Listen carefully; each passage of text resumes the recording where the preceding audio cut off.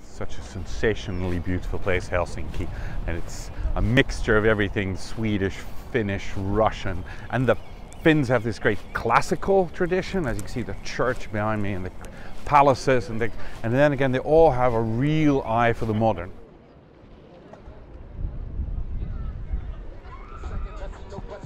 Finland is a young country, really. It's been independent for a hundred years or more. They really have an eye for contemporary architecture. They have this spectacular new uh, uh, library in town, which opened up a few years ago.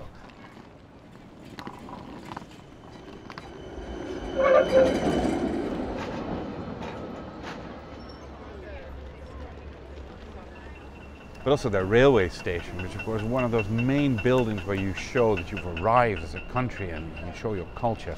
And that's by Eliel Saarinen, a great, great Finnish architect who then moved to the United States, where his son, Eero Saarinen, became even more popular.